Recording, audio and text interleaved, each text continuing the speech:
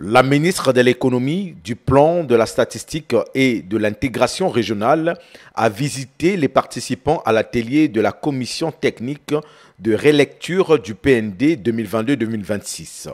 Elle les a encouragés à donner le meilleur d'eux-mêmes pour parfaire le cadre stratégique ainsi que les neuf axes de ce plan. Le plan national de développement est une grosse affaire.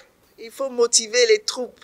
Je crois qu'il est bon, quand la circonstance le chef de l'équipe vienne sur place, s'assurer que les conditions de travail sont propices à la réflexion intellectuelle.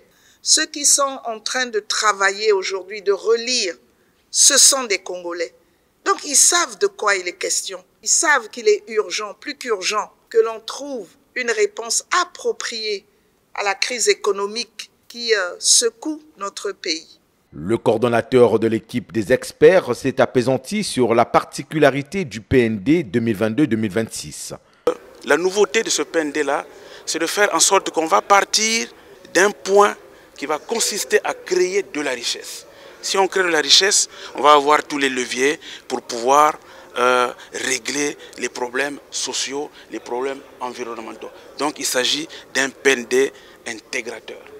Une fois validé par le Conseil de cabinet et le Conseil des ministres, le PND 2022-2026 sera transmis par la suite au Parlement pour adoption.